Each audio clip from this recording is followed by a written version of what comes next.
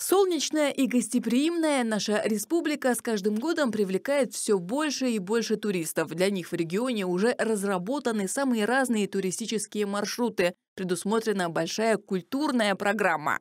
Ну и куда же без национальной кухни, медвежья лапа, пачат, поза. Без угощений не обходится ни один прием гостей. Важно, чтобы уровень сервиса в республике был на достойном уровне. Это одна из задач, поставленных главой Мордовии Артемом Сдуновым. Для того, чтобы предприниматели в сфере общепита строили работу еще эффективнее, в республике организовали двухдневное бесплатное обучение. В целом, конечно, в республике у нас неплохой уровень сервиса. Есть отели международного уровня и, и брендов, но тем не менее учиться всегда нужно. Мы проводим такое классное обучение, и приятно, что э, на данное мероприятие записалось более 120 человек.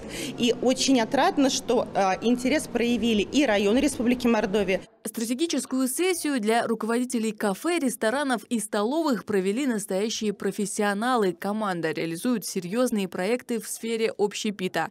Под ее началом в России и в странах СНГ работают десятки ресторанов. Это уже настоящий бренд. Кстати, осенью заведение планируют открыть и в Саранске. Спикеры поделились своим опытом через конкретные кейсы и ситуации, расставили основные акценты. Мы будем обсуждать э, успешный бизнес, целом ресторанный, каким образом правильно вести операционную работу, на что необходимо обратить внимание, в том числе затронем маркетинг. Цель – поднять уровень ресторанного бизнеса в Республике Мордовия. Мы с радостью готовы поделиться своим накопленным опытом.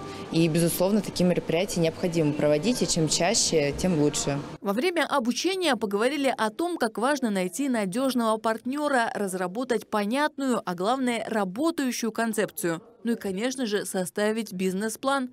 Все на конкретных примерах, детально и очень познавательно. Если раньше нам приходилось все искать самим, да, мы буквально э, вот эту выискивали информацию по крупинкам. Сегодня есть вот такие замечательные мероприятия, когда наша республика заботится о нас, да, и буквально нам на дом привозят потрясающих спикеров, дают уникальную информацию.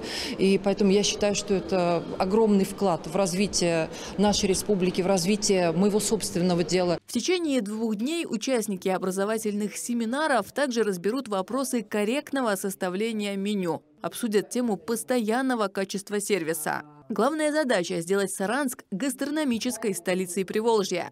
Юлия Исайкина, Александр Овчинников. Народные новости.